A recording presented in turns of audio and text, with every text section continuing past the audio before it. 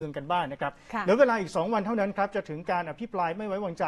รัฐบาลพลเอกประยุทธ์จันทร์โอชาทั้งว่าวันนี้มีการชุมนุมทางการเมืองเกิดขึ้นนะครับเป็นการชุมนุมที่นำโดยนายนัทวุฒิใสายเกลือของกลุ่มคาปาร์คแล้ววันนี้พวกเขาก็มีการจัดกิจกรรมคาร์ม็อบที่เคลื่อนขบวนทั่วรอบกรุงเทพมหานคร ไปนนทบุรี แล้วก็มีปลายทางอยู่ที่จังหวัดปทุมธานีนะครับใช่ค่ะ แต่ว่าอีกจุดหนึ่งค่ะ คือที่แยกดินแดงนะคะ ซึ่งเหตุการณ์ไม่ได้เกิดขึ้นมาหลายวันแล้ว วันนี้กลับมามีการปะทะกันอีกครั้งค่ะ หลังจากที่กลุ่มผู้ชุมนุมมีการกำหนดนัดหมายที่เดิม และเจ้าหน้าที่นำตู้คอนเทนเนอร์มาขวางกั้นถนนวิภาวดีรังสิตขาออก มุ่งหน้าราบที่หนึ่งบ้านพักของนายกรัฐมนตรี นั่นแหละค่ะทำให้เรื่องของการควบคุมนั้นเกิดขึ้นทันที เราจะไปติดตามจากคุณจิราพรคำพาพันธ์รายงานสดมาจากแยกดินแดงค่ะ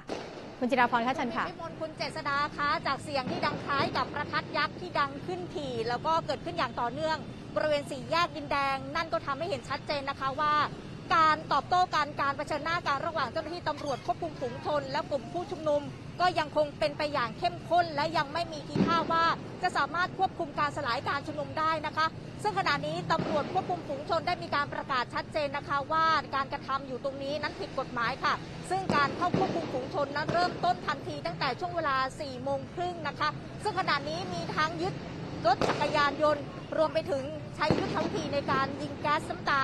รวมไปถึงที่จะใช้รถฉีดน้ำแรงดันสูงด้วยค่ะ คุณผู้ชมคะนี่เป็นวิธีการใช้รถฉีดน้ำแรงดันสูง มีทั้งผสมสี เพื่อเข้าควบคุมการสลายการชุมนุมที่เกิดขึ้นที่แยกดินแดงวันนี้เองนะคะบริเวณหน้าตู้คอนเทนเนอร์ที่กั้นกลางถนนวิภาวดีรังสิตขาออก มุ่งหน้าไปยังกรมทหารราบที่หนึ่งซึ่งเป็นบ้านพักของนายกรัฐมนตรีค่ะ การเข้าควบคุมการชุมนุมก็เกิดขึ้นทันทีเวลา 14นาฬิกา30 นาที เมื่อผู้ชุมนุมเริ่มมีการใช้ประทัดยักษ์และมีการปาระเบิดขวดไปยังหน้าตู้คอนเทนเนอร์ แล้วก็หลังตู้คอนเทนเนอร์หลายครั้งด้วยกัน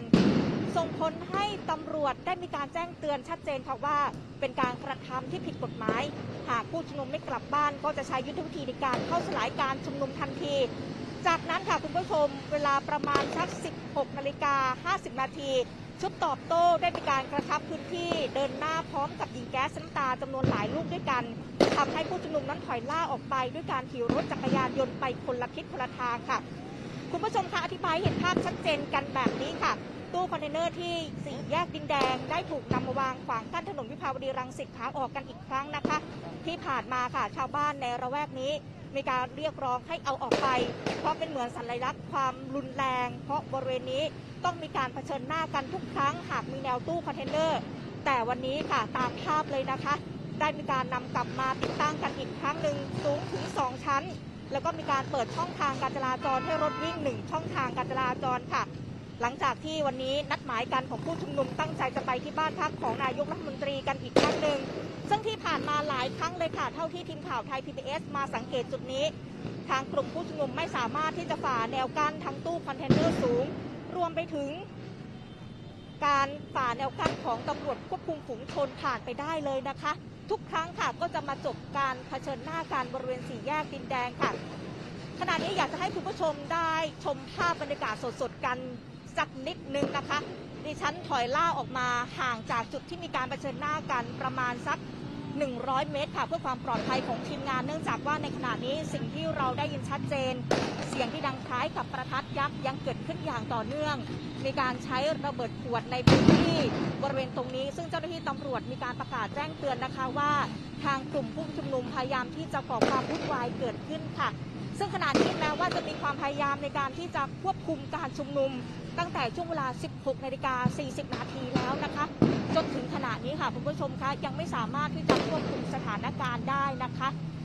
บางครั้งที่มีการที่จะใช้ยุทธวิธีในการใช้รถฉีดน้ำแรงดันสูงฉีดใส่ผู้ชุมนุม ผู้ชุมนุมก็ถอยล่าไปค่ะ แล้วก็รวมทั้งฉีดแก๊สยิงแก๊สน้ำตา แต่ว่าหลังจากเหตุการณ์ปกติก็จะกลับมาอีกครั้งหนึ่งค่ะซึ่งตรงนี้ค่ะคุณผู้ชมยังคงต้องจับตาการที่จะเข้าควบคุมการสลายการชุมนุมนะคะ อย่างที่บอกไปค่ะนับเป็นเวลาเกือบ 5 วันแล้วที่พื้นที่ตรงนี้ไม่ได้มีการเผชิญหน้ากัน ไม่ได้มีความใช้รุนแรงเกิดขึ้น หลังจากที่ยุทธวิธีในการที่จะควบคุมของการชุมนุมของเจ้าหน้าที่ตำรวจนั้นเปลี่ยนไป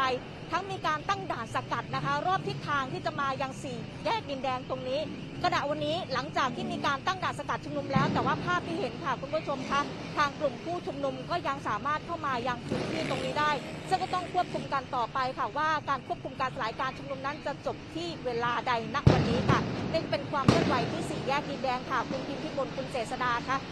ค่ะ ขอบคุณคุณจิราพรค่ะ